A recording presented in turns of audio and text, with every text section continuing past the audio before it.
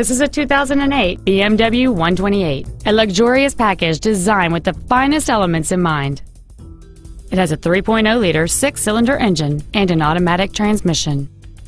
With an EPA estimated rating of 28 miles per gallon on the highway, you won't be making frequent trips to the gas pumps.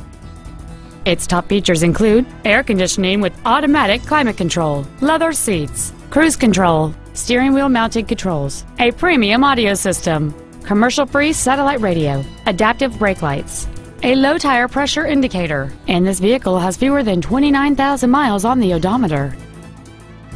This BMW has had only one owner, and it qualifies for the Carfax buyback guarantee. Stop by today and test drive this automobile for yourself.